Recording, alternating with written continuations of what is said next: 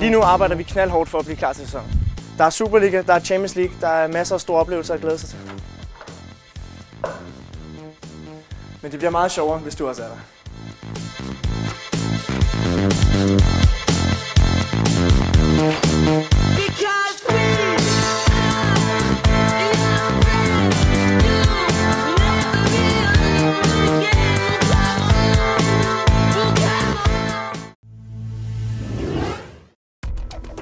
Programmet præsenteres af Unibet, sportsbetting på mobilen.